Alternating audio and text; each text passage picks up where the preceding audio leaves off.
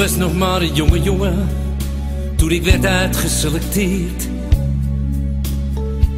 Of ik een wedstrijdproef wou spelen, de club was geïnteresseerd. Toen ik thuis kwam en het vertelde, vloog mijn pa om mijn nek.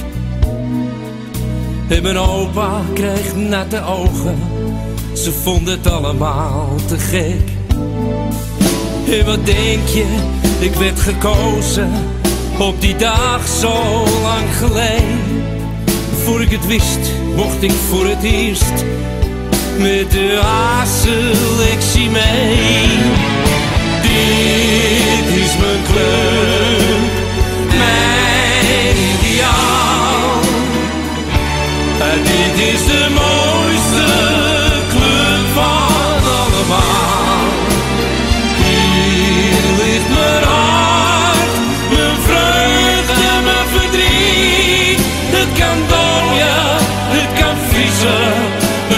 Kunnen winnen verliezen.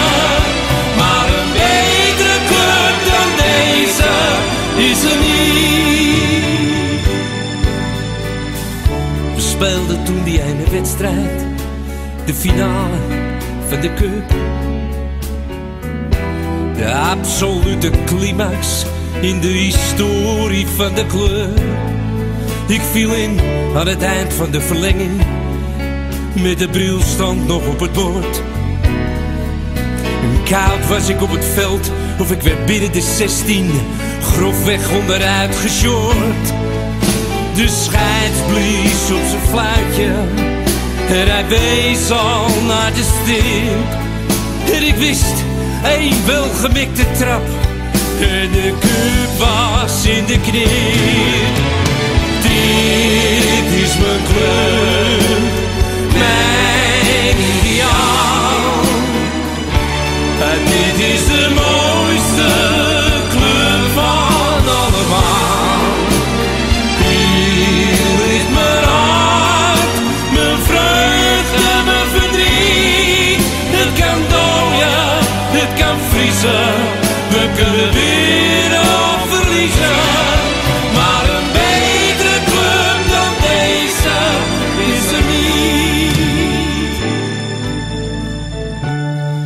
was gevangen in de stilte.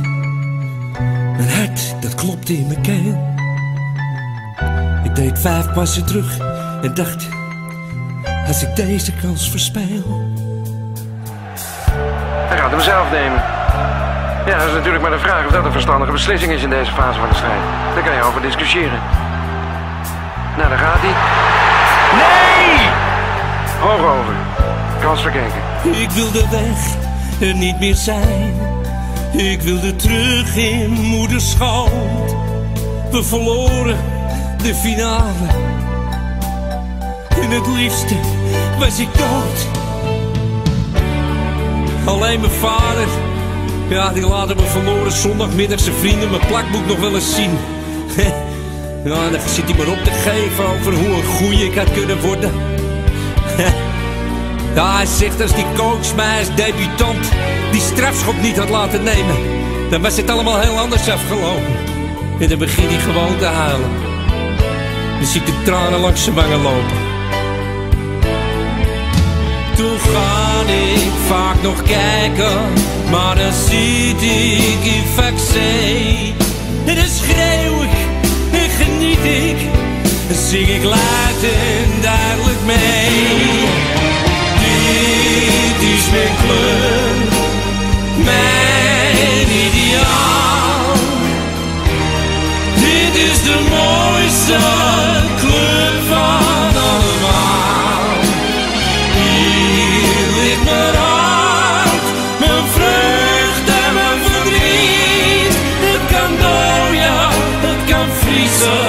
We kunnen winnen of verliezen. Maar een club dan deze is er niet.